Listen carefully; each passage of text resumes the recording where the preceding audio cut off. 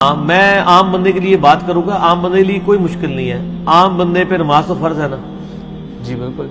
और नमाज़ की सत्रह रखते फ़र्ज़ है। हर रकत में ईया का नाबुदू ईया का नस्तईन आता है। जी। तो आम बंदा तो है वो बाद में बुज़ुर्गों के नारे मार रहा होता है कब्रों से मांग रहा होता है। तो अगर आम आदमी को सूर्य फातिहा की सात आयात का तर्जमा भी उसने पूरी ज़िंदगी नहीं सीखा मोटरसाइकिल चलानी उसने सीख ली है गाड़ी चलानी उसने चीज़ सीख ली है उसका स्कूल की कंपैरेटिव नॉलेज मौजूद है कि जी किस स्कूल में बच्चा दाखिल कराना है, किसमें नहीं करवाना। दुनिया जान की उसने चीज़ें सीख ली हैं।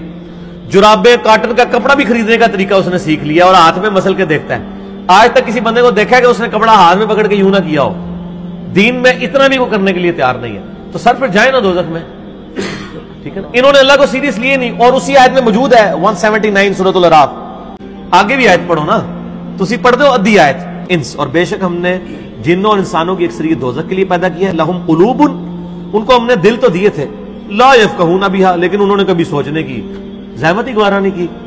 वलहुम आयुनुन, हमने उनको आँखें दी थी, ला युबसिरून बिहा, लेकिन कभी आँखें खोल के उन्होंने बुखारी, मुस्लिम से नमाज़ का तरीके खोल के नहीं पढ़ा, या मैं उसकी तशरी कर रहा हूँ। ज़ाहिर तशरी तो फिर बुज़ुर्गों से पूछ पूछ के करनी है ना आपने। हमने उनको कान तो दिए थे, ला यसमाऊन अबिहा लेकिन वो सुनते नहीं। और ये तो चौपाए हैं। चौपाए हैं। अल्लाह ने जानवरों की मिसल कहा है कि जो लोग अपनी अकल को, कान, आँखों को इस्तेमाल नहीं करते, कि ये तो जानवरों से भी गए गुजरे गफलत की ज़िंदगी गुजारते तो मसला यह है कि जब अल्लाह ऐसे शख्स को, जिसको आँख, कान, ये सारी नियमतें दी थी, उसको यूटिलाइज नहीं करता, वो खुद जानवरों से बदतर है। तो सर, फिर वो हकदार है।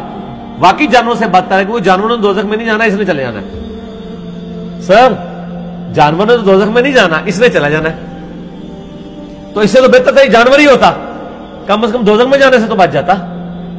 इंसान कभी किसी चीज़ की पैरवी उस वक्त तक मत कर कि जब तक उसके बारे में तू डेफिनेट इल्म हासिल न कर। बेशक आँख, कान और अक्ल इसके बारे में तुमसे पूछा जाएगा अल्लाह तो हमारे बगैर दलील के तुमने पैरवी नहीं करनी। दुनिया के मामला में बगैर दलील के पैरवी नहीं कर रहे, दलील के साथ कर रहे हैं, दीन में कर रहे हैं। और हमारे साथ कोई वैसे हमदर्दी भी नहीं करता। आप दिन के वक्त हेडलाइट जला के ना मोटरसाइकिल की, एक किलोमीटर का सफ़र तय करके बताएँ तो आपको पचास बंदे यूँ यूँ इशारा करेंगे। लेकिन सर, आप पचास साल तक किसी मस्जिद में अपने बुज़ुर्गों के तरीके पर नमाज़ पढ़ते रहे, आपको एक बंदा भी कंधा थपका के नहीं कहेगा कि यार, ये नमाज़ सुन्नत के मुताबिक नहीं आप पढ़ रहे। और अगर कहेगा तो वो अपनी खैर मना लेगा और आप मुँह भी नहीं चढ़ाएँगे, जो आपको यूँ यूँ कहते हैं, आप लाइट बंद करें।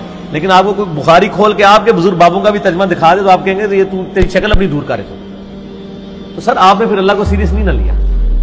मोटरसाइकिल की हेडलाइट को तो सीरियस लिया और आप देखें, इन लोगों को आप कहेंगे कि बोले आज तक मैंने नहीं देखा कि किसी ने यूँ यू इशारा किया, दूसरे को पर मेरी हेडलाइट है। वो ऐसे करते हैं। वो कहता है, स्टैंड चुक लो जी, स्टैंड चुक लो। ठीक है। असं कहना थोड़े हाथ चुक लो यार भाई दार रास्ते पकड़ो यार